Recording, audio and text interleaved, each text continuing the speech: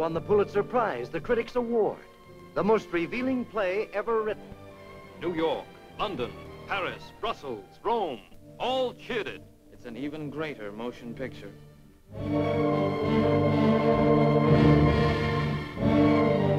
This is the sto woman, Blanche Dubois, who wanted so much to stay a lady.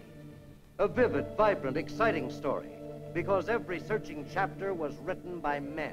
Men who taught her to trust and to hope, to love and to hate.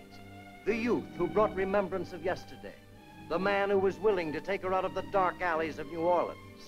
The brute who lied and cheated, who promised everything, gave nothing. Don't you ever talk that way to me. Disgusting, vulgar, greasy. And who do you think you are, a couple of queens or something? Could it be you and me, Blanche? Yeah, what does it cost for single furs like that? But, but these are tribute from an admirer of mine. Well, he must have had a lot of admiration. You Lies! Lies inside and out! All lies! Never inside. I never lied in my heart.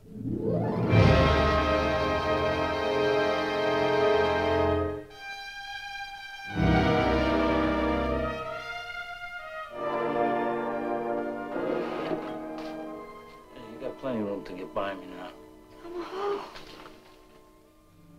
You think I'm going to interfere with you? Marry me, Mitch.